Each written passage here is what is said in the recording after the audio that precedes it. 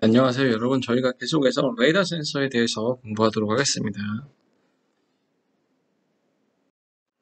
여러분 레이더 센서를 이용해서 첫 번째로 angle estimation에 대해서 공부해 보도록 하죠.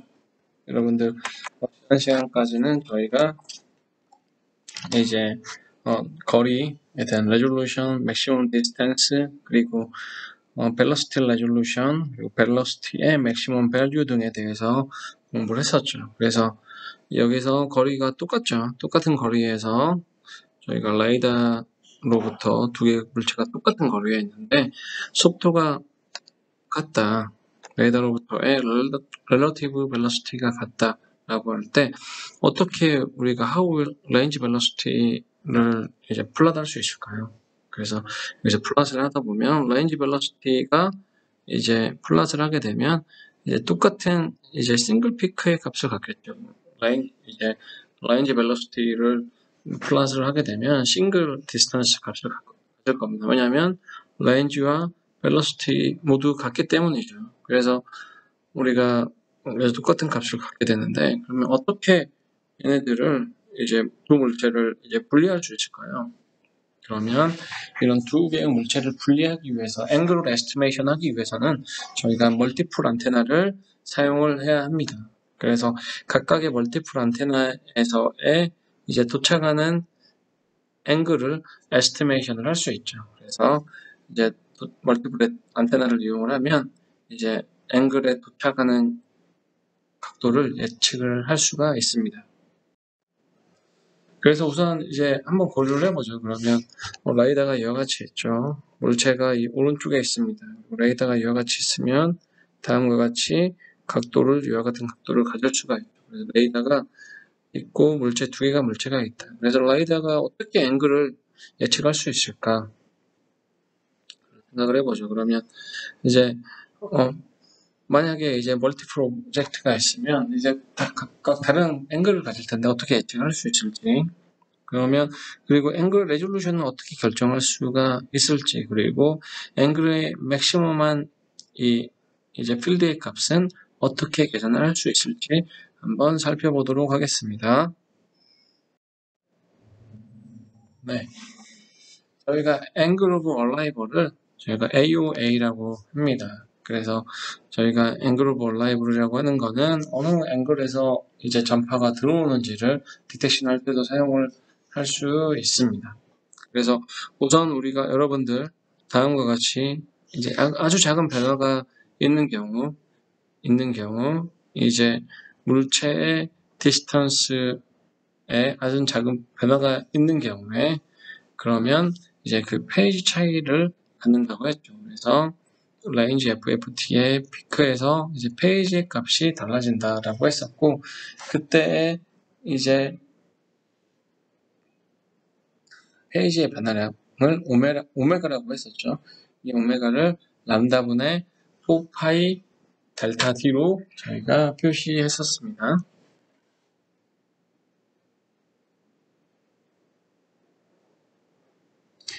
그래서 이와 같은 값으로 이제 표시를 했었다. 그래서 델타의 phase의 값을 이와 같은 형태로 표시를 했었는데 그래서 이제 angle estimation을 하기 위해서는 angle estimation 하기 위해서 저희가 적어도 두 개의 안테나가 필요하게 됩니다. 그래서 두 개의 안테나를 이용하면 앵글을 estimation을 할 수 있다. 왜냐하면 두 개에 들어오는 전파의 이제 distance가 달라지기 때문이죠. 두 개의 전파에 들어오는 distance가 달라지기 때문에 저희가 angle estimation을 할 수가 있습니다. 그래서 적어도 두 개의 안테나를 사용을 하게 되면 이 안테나와 이 안테나는 뭐, D, 뭐 간격이 있겠죠. 이 간격이 있으면 이때 두 개, TX에서 신호를 보내고 신호를 받을 때 두 안테나 사이에는 델타 D만큼의 거리 차이가 발생을 하게 됩니다. 그래서 안테나와 물체 사이에 거리 차이가 이제 발생을 하 게 되는데 그거를 이용을 해서 AOA의 값, Angle of Arrival의 값을 에스티메이션 하는데 사용을 할 수가 있습니다. 그래서 저희가 오메가의 값을 람다분의 2파이 델타 D의 값으로 저희가 표현할 수가 있죠.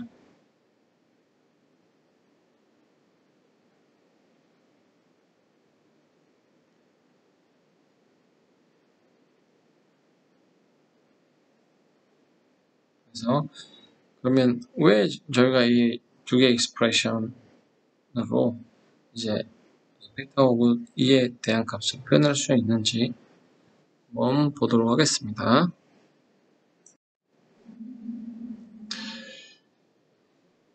이제 두 개의 안테나를 이용해서 AOA 값을 어떻게 매저를 할 수 있는지 보게 되면 우선은 저희가 안테나 TX 안테나는 이제 첫 하나를 이제 송신을 하게 됩니다.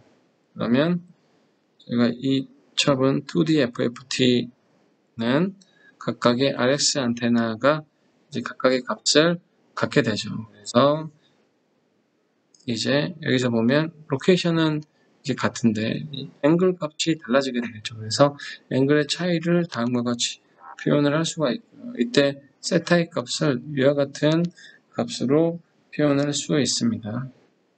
그래서 이제 phase difference에 측정된 phase difference는 우리가 앵글의 차이를 이용해서 계산을 할 수가 있습니다. 그래서 여러분이 여기서 보이는 것처럼 저희가 다음과 같이 이제 distance가 존재한다. 이 안테나 사이의 거리, 얘를 D라고 여기서는 했죠. 그래서 안테나 사이의 거리를 이제 D라고 했다. 그리고 D라고 한 다음에 그때 들어오는 앵글을 세타라고 했습니다. 그러면 이 각도가 세타가 되고 이 세타의 각도는 d 사인 세타의 값으로 이제 이 distance, 이 델타 d의 값이었죠. 이 값을 표현을 할 수가 있습니다. 그래서 여기서 여러분 좀 헷갈릴 수 있는데 안테나의 distance를 여기선 d라고 표현을 했습니다. 그래서 이 angle의 차이, angle의 차이 델타 d를 저희가 이 값이 람다분의 2파이 델타 d의 값으로 표현을 했었는데 이 델타 d의 값을 d 사인 세타로 저희가 표현을 한 거죠. 그래서 이 phase difference의 값을 저희가 이 오메가는 람다분의 2파이 d 사인 세타로 표시를 했고요. 이때 이 사인 세타의 값을 이 들어오는 각도의 값으로 표현을 했습니다. 그래서 이 세타의 각으로 들어오면 안테나 distance가 d가 되고 이 d 사인 세타의 값이 이 델타 d의 값이 된다. 그래서 저희가 세타의 값을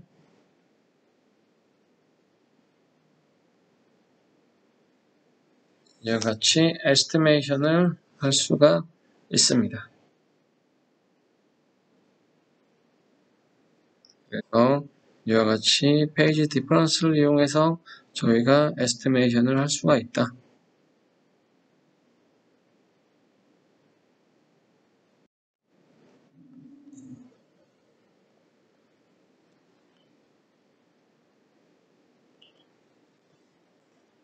그래서 다음과 같이 오메가는 람다분의 2파 2t 사인 세타라고 했습니다. 그래서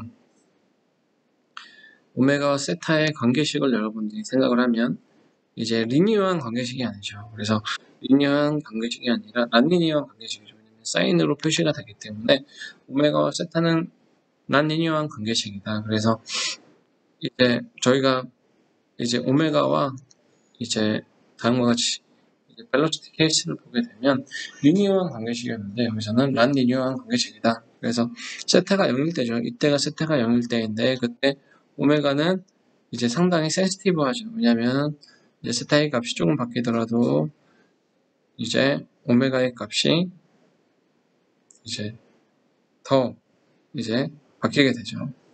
그래서 오메가는 센시티브하다.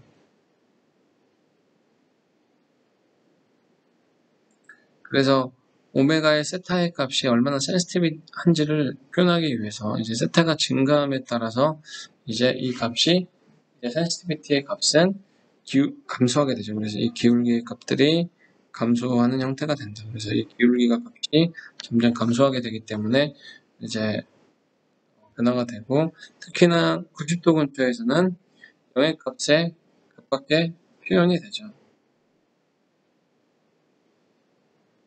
그래서 이제 세타의 에스티메이션을 할, 할 텐데 이제 세타가 증가함에 따라서 에러의 값이 더 발생을 하게 된다. 그래서 우리가 앵글 에스티메이션을 하는데 이제 보면 phase가 거의 0도에 가깝기 때문에 이제 가장 센스티브하게 앵글 에스티메이션을 할 수가 있는데 이제 phase가 증가하면 증가할수록 angle estimation을 할 때 estimation accuracy가 90도에 가까워짐으로써 estimation accuracy가 감소하는 특성을 갖는 걸 확인을 할 수가 있습니다.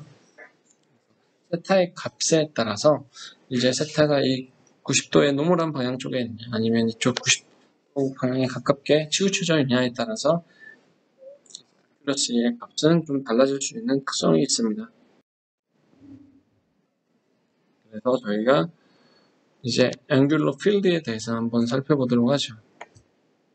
그래서 object가 이제 오메가가 0보다 더 큰 경우, 이와 같은 방향으로 가는 경우, 그리고 오메가가 0보다 작은 경우, 이 반대 방향으로 가는 경우가 되죠. 그래서 이 오메가의 값이 상당히 이제 큰 차이가 나는 경우, 180도보다 이제 작아야지 이제 어 뭔가 애매모호한 값이 발생을 하지 않겠죠. 그래서 저희가 벨러시티를 계산할 때 이와 같은 형태로 비슷하게 이제 저희가 오메가의 값이 180도 이하가 되도록 계산을 했습니다. 때문에 세타의 값도 다음과 같이 다음과 같이 이제 계산을 할 수가 있죠. 계산을 할 수가 있습니다. 그래서 이 부분의 람다의 형태로 저희가 세타의 값도 작아져야 한다. 이와 같은 값을 갖는다. 라고 저희가 얘기할 수가 있습니다. 그래서 여기에서 maximum field의 값은 이제 두 개의 안테나 space가 D만큼 떨어져 있을 경우 다음과 같이 세타의 maximum한 값을 다음과 같이 표현을 할 수가 있다. 그래서 D의 spacing이 2분의 람다라고 하면 저희가 phase가 플러스 마이너스 90도로 얘기할 수가 있습니다. 그래서 세타의 max의 값은 아크 사인의 2d분의 람다의 값으로 여러분이 표현을 할 수가 있겠고요. 그리고 만약에 d가 플러스 마이너스 90도다라고 하면 안테나 space가 안테나 space가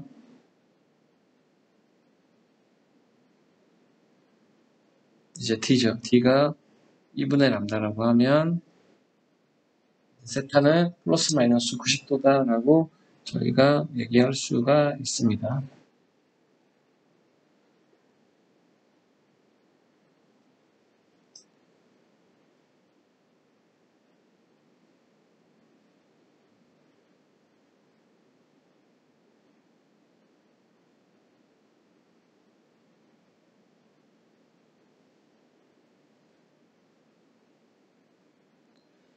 저희가 이와 같은 형태로 이제 표현할 수가 있다.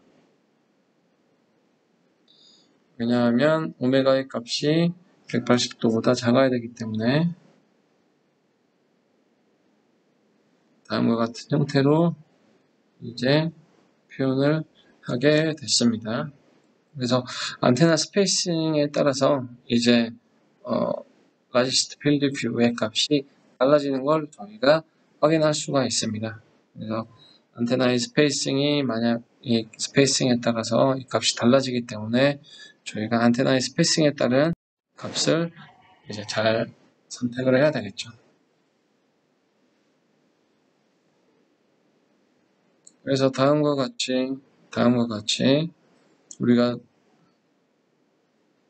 이제 같은 거리에 서에 같은 속도로 있을 때 multiple object가 있을 때 AoA의 값을 measuring 하기 위해서는 이제 저희가 이제 두 물체가 이제 코사이 이제 equal distance에 있는 두 개의 물체를 공유를 할 때 저희가 레이더로부터 상대 속도가 같다라고 하면 다음과 같이 phase 차이를 이용해서 두 개의 안테나를 이용해서 phase 차이를 이용해서 저희가 이제 어, angle의 값을 measure할 수 있다.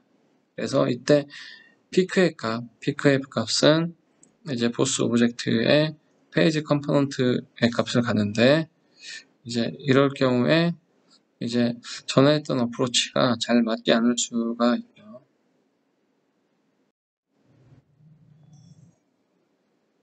그래서 이 경우에 이 경우에 저희가 안테나를 이제 여러 개의 안테나를 사용합니다. 그래서 두 개의 안테나를 사용하게 되면 두 개의 안테나를 사용하게 되면 이제 만약에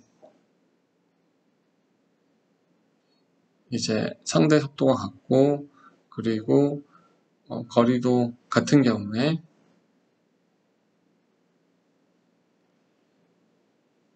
이제 peak value의 component phase가 phase component가 이제 같은 component 값을 가질 수도 있기 때문에 저희가 두 개만 사용을 하는 것보다는 이제 두 개가 아닌 n 개를 사용을 하게 되면 좀 더 이제 다양한 값을 가질 수가 있겠습니다. 그래서 phase의 차이가 phase 차이가 이제 두 개가 두 개만 있는 경우는 phase 차이가 똑같이 날 수도 있기 때문에 여러 개의 개의 element를 사용을 하게 되면 다음과 같이 phase가 이제 방금 전에 두 개만 사용한 경우에는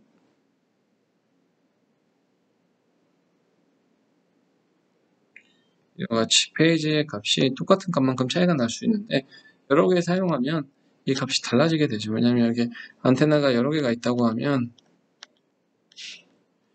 이 둘은 똑같은 거리로 표현이 될 수가 있습니다. 그냥 딱 중간에 있으면 하지만 이 안테나들은 다른 안테나들은 그렇게 표현이 안 되죠.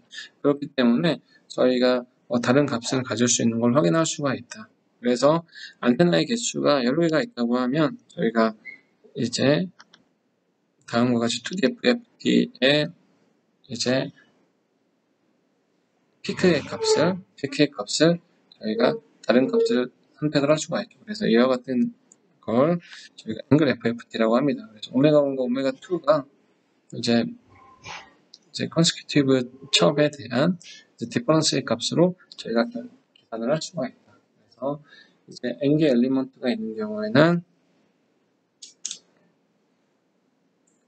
세타 1은 사인 아크 사인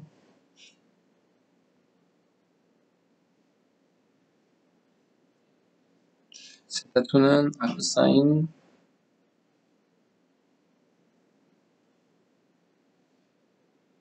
이와 같이 다른 각도에 해당하는 값을 계산할 수가 있겠습니다.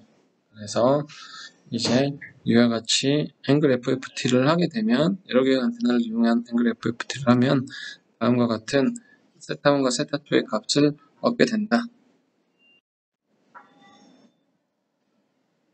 그러면 앵글에 대한 레졸루션은 어떻게 계산을 할 수 있을까? 앵글 레졸루션에 대한 값은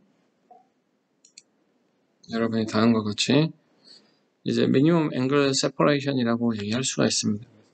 두 개의 object가 이제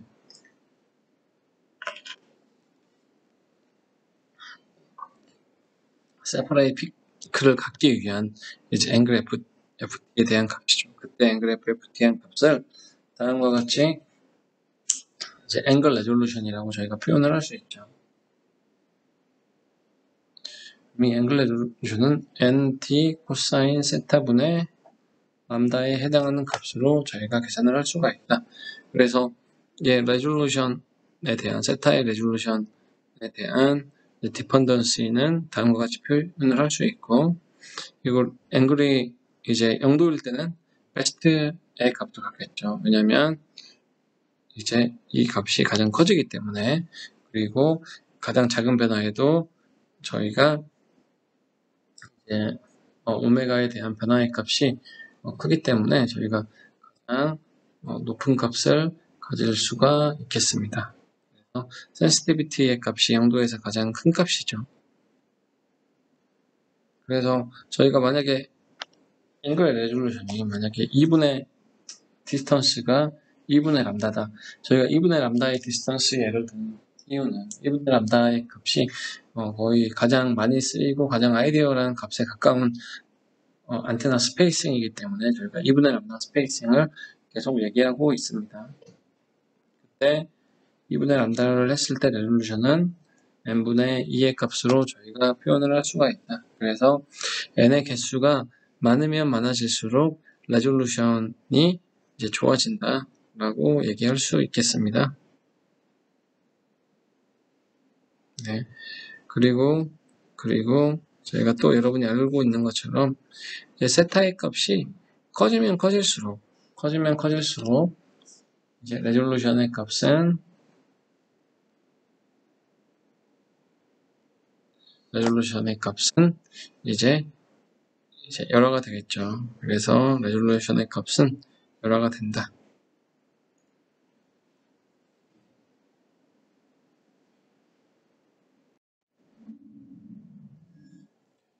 angle resolution의 값을 다음과 같이 이제 계산할 수가 있겠습니다. 그래서 이제 다음과 같이 그럼 델타 오메가의 값은 람다분의 2파이 뒤에서 사인 세타 플러스 델타 세타 마이너스 사인 세타의 값으로 표시를 하게 되면 표시를 하게 되면 여러분들이 이 식의 값을 계산을 하면 다음과 같은 형태로 저희가 이제 표현을 할 수가 있죠. 그래서 어, 이 값을 이제 표현을 하게 되면 표현을 하게 되면 다음과 같이 대략적인 값으로 표현을 할 수가 있습니다. 네, 델타 오메가는 n분의 2파이보다 큰 값을 가지려면 다음과 같이 델타 세타의 값은 nd 코사인 세타분의 람다보다 큰 값을 이제 갖는다. 하는 걸 여러분이 확인할 수 있죠. 그래서 angle resolution의 값은 angle resolution의 값은 다음과 같이 ND 코사인 세타분의 람다의 값을 갖고 resolution은 resolution은 보통 다음과 같이 안테나 space가 2분의 람다 angle이 0도일 때 다음과 같이 n분의 2의 값을 갖는 걸 여러분들 확인할 수가 있습니다.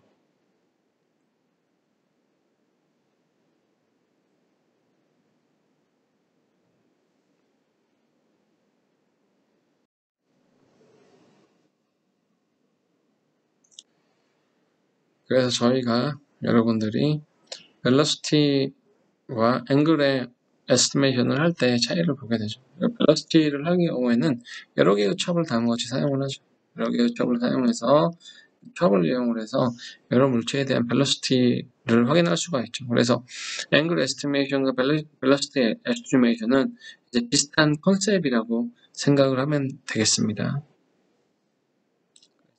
다음과 같이 이제 chirp에 대해서 여러 개의 spacing으로 해서 phase 차이를 보고 앵글 에스티메이션, 벨러시티 에스티메이션은 여러 개의 첩을 여러 개의 첩을 이제 가지고 페이지의 차이로 이제 velocity를 estimation을 할 수가 있다. 그래서 여러 개의 공간을 두느냐, 여러 개의 chirp을 두느냐를 이용을 해서 angle estimation과 velocity estimation을 할 수가 있고 그때 angle resolution 이제 velocity resolution을 다음과 같은 값으로 저희가 표현을 할 수가 있습니다. 그래서 angle resolution 같은 경우에는 안테나 array의 길이의 값에 따라서 이제 변화가 되고요. 그리고 이제 velocity 이제 resolution 같은 경우는 프레임의 길이에 따라서 이제 velocity resolution이 결정이 되게 됩니다. 그리고 maximum angle 같은 경우는 다음과 같은 값으로 이제 표현이 되죠. 그래서 안테나 사이의 거리에 따라서 maximum angle의 resolution의 값은 이제 결정이 될 수가 있고 그리고 maximum velocity의 값은 velocity의 값은 이제, 이제 각각 chirp의 duration에 따라서 결정이 될 수가 있죠.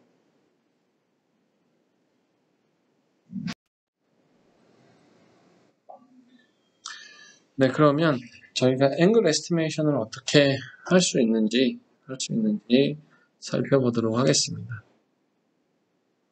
그래서 앵글 에스티메이션을 할 때 저희가 여러 개의 안테나를 사용을 한다고 했죠. 여러 개의 안테나를 이와 같이 사용을 합니다. 그래서 여러분들이 자동차를 타고 가는데 1차로, 2차로, 3차로에 다 같이 똑같은 속도로 가는데 똑같은 거리에 물체가 있다 라고 했을 때 이때 안테나를 두 개 이상 사용을 해야지 각각의 물체에 대해서 이제 angle을 estimation을 할 수가 있다 라는 거고요.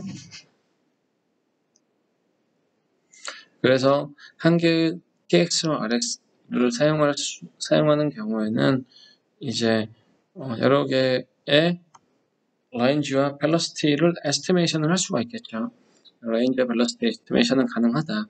하지만 angle estimation을 하기 위해서는 이제 localization 정보가 필요한 거죠. 그래서 localization의 정보는 다음과 같이 digital beamforming과 같은 방법을 사용을 하게 됩니다. 그래서 여러 개의 데이터를 각각 정보를 모아서 각각 데이터 처리를 하는 방법을 저희가 이제 이제 하나의 로컬레이션 localization 방법으로 사용을 하게 되는 거죠. 그래서 multiple RX 안테나가 angle estimation을 할 때는 필요하다. 그때 이제 2D FT, FFT grid에는 각각 RX 체인에 사용하는 값이 나오게 되고 그때 이제 corresponding peak에 대한 FFT가 안테나 cross를 해서 이제 corresponding peak에 대한 FFT 값이 이제 앵글을 에스티메이션을 할 때 각각 사용이 될 수가 있겠습니다.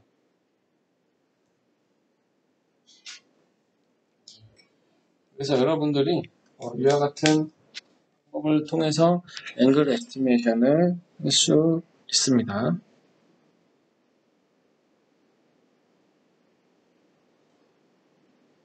네, 여러분 그러면 어, 첫 번째 시간은 여기까지 하고 계속 이어서 이제 잠시 후에 수업을 하도록 하겠습니다.